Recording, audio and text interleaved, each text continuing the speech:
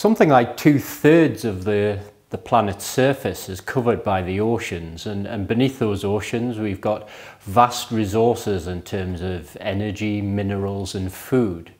We're all used to GPS technology enabling us to, to position ourselves anywhere on the planet, but as soon as we go below the water, that's simply not available to us.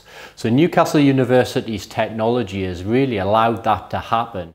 Remotely operated underwater vehicles are very commonly used for inspection tasks. So if you want to go and have a good look at something and it's too deep or too hazardous to send divers down there, then these ROVs, as they're known, are very commonly used. Divers are only able to go down to a certain depth and beyond that we rely on robotic underwater vehicles. So communicating with these vehicles and also tracking their position is extremely important.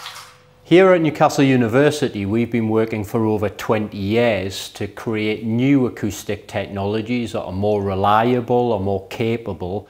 Our technology enables us to accurately track any vehicle or even a diver subsea. Historically, acoustic communication technology was used in high value applications like defence and oil and gas industries. In recent years, there's been more and more commercial products, including some that Newcastle University have helped to create. The Micron Nav product was created to produce a, an affordable solution for small um, remotely operated vehicles. This is the surface end of the system. So this is what we call our USBL array. So this device receives signals from the subsea end of the system. So this device, a transponder, is mounted on board a, a, small vehicle or a diver and it exchanges signals through the water with the surface unit. The surface unit can work out exactly where this device is by estimating the direction of the signals arriving and also by measuring the distance between here and the subsea unit.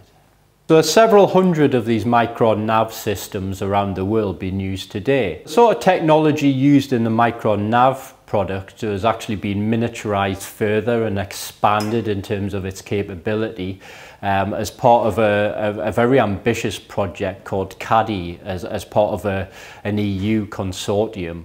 The concept is to create a robotic dive assistant or dive buddy um, so that rather than being reliant on another human being, um, a diver can be reliant on, on a robot or, or more than one robot to assist in its operations. It reduces the, the manpower, the number of highly trained divers that need to be in the water at any one time.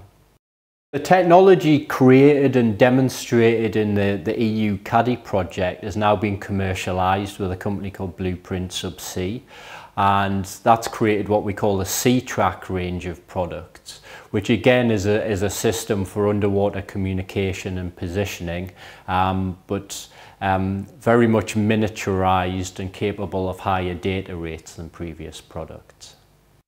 The long-term goal is to have long-term infrastructure out there in the oceans to support communication and positioning. But if we're actually going to achieve this goal, we have to do it in a way that doesn't create an environmental problem. We don't want to be emitting continuously high, high power acoustic signals underwater. So we're working on technologies that will actually minimize environmental impact by transmitting signals buried below the background noise so that marine life or any other divers out there, for example, wouldn't even be aware that these signals were present.